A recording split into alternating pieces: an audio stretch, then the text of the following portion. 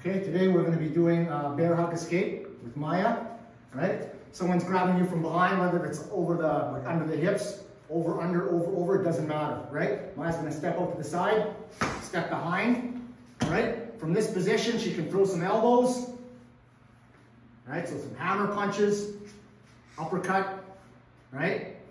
As needed, exactly. And then she's going to reverse her feet to do a hip throw. Boom, okay? So do that again real time.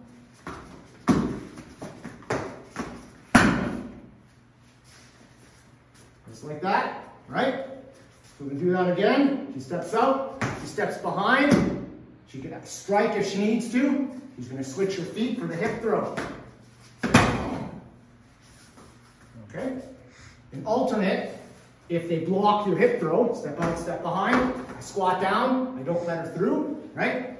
She goes underneath the arm, up the back, fishes underneath my knee, and pick up and throw.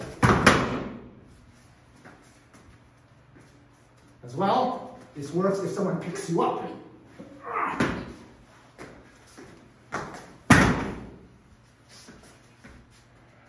Hug escape.